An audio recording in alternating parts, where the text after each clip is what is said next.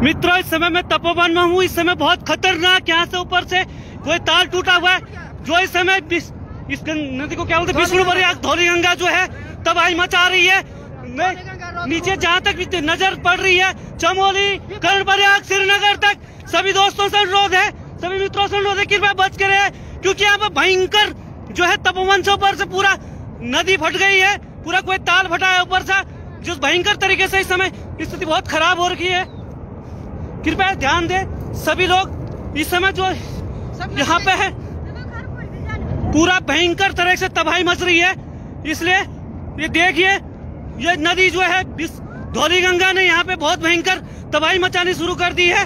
जो धौली गंगा ऋषि गंगा पे जो डैम है इस समय उससे ऊपर जाते हुए भयंकर देख लीजिए चारों तरफ़ से बहुत भयंकर तरीके से जो है स्थिति खराब हो रही है। सभी मेरा जितने भी लोग फेसबुक लाइव देख रहे हैं मेरा कृपया वो ध्यान दे। चमोली, कर्णप्रयाग, श्रीनगर, ऋषिकेश तक जहाँ तक भी है, जल्दी से जल्दी ध्यान दे, कृपया संभलने का प्रयास करे। श्रीनगर में अलर्ट हो जाए, सभी लोग चमोली, यहाँ से जितने भी नदी के किनारे लोग हैं, वो कृपया क्योंकि 2013 केदारनाथ आपदा से भी भयंकर इस समय धौली गंगा पूरा चारों तरफ़ वो लगा हुआ है। भयंकर तरीके से इस समय जो है, ऊपर से हो रहा है।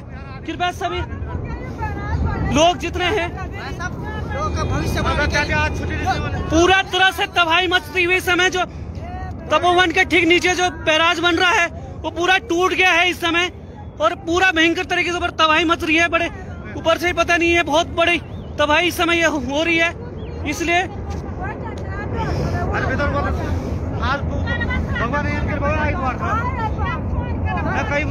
आज संडे होने के कारण बहुत सारे पता नहीं चल पा रहा है कि लोग कोई टनल के अंदर शायद वो कर रहे हुए कृपया।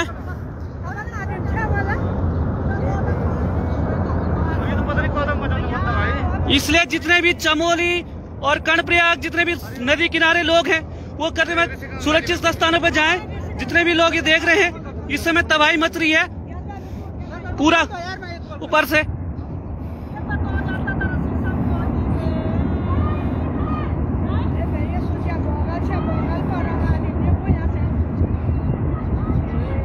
दिन दोपहरी धूप खिली हुई है। फिर भी ये तबाही मचाता हुआ इस समय।